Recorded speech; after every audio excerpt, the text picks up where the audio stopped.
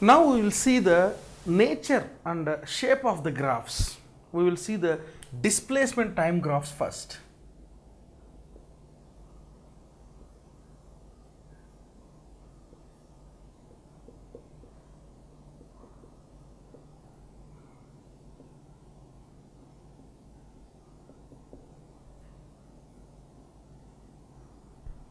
As we know that displacement should be taken on y axis, time should be taken on x axis. In this graph there are some situations.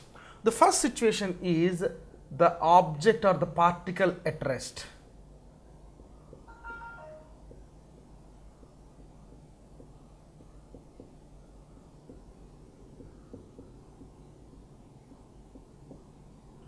In this case, yes, this is the modal graph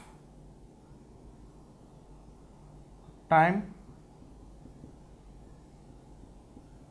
t this is displacement.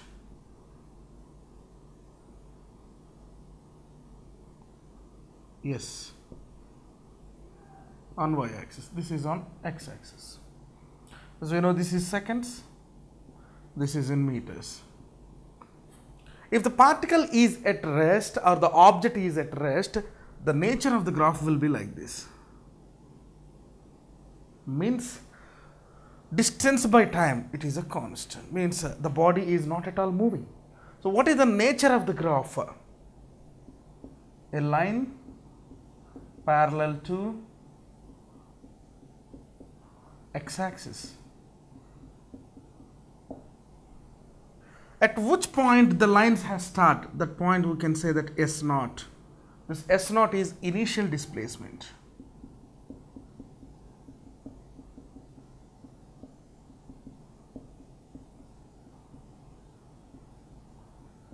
This is one of the situation in the displacement time graphs. And second one, the body is in uniform motion. The object or particle in uniform motion. So, in this case, this is the modal graph, this is time t seconds. This is displacement.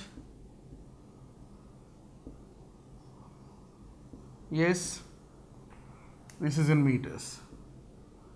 So the object is in uniform motion which starts from zero velocity. Then you can say a graph like this. Means a straight line passing through origin having positive slope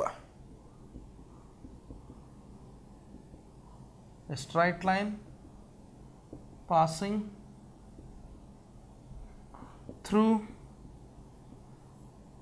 origin having positive slope. There are many other situations we will see one by one. Third example and the third nature is particle with uniform acceleration. Particle or object with uniform acceleration.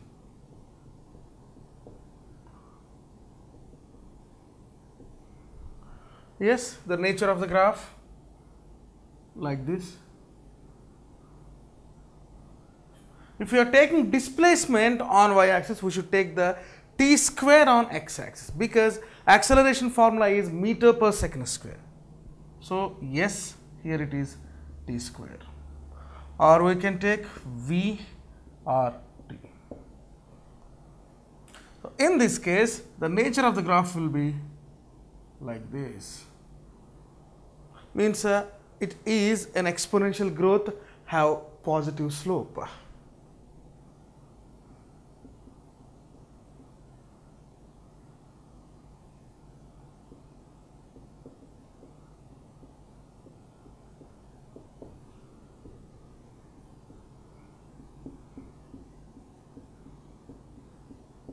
This graph indicates the initial velocity or displacement is 0 but initial velocity or displacement is not 0 then the graph is like this. again it is t square r t whether it is uh, s or v. So, the intercept on y axis gives the initial velocity or initial displacement of the body.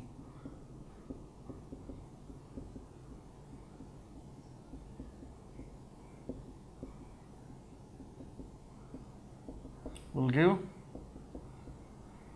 initial velocity or displacement. So, like this we can see the different nature of the graphs for different situations. The next one particle with uniform retardation.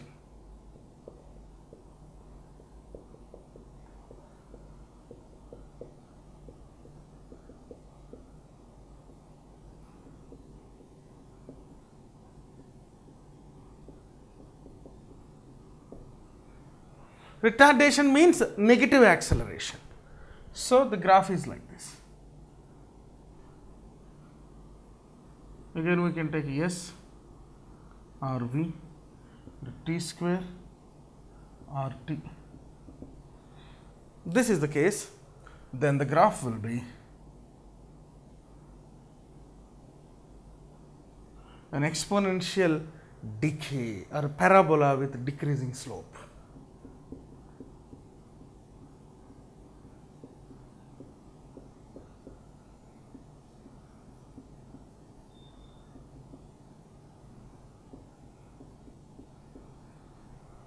If a body projected vertically upwards,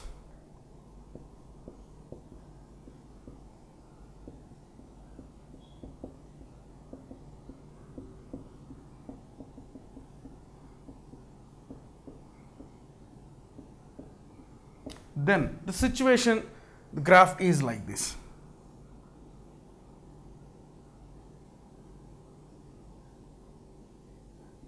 A perfect parabola which tends from minus k to plus k.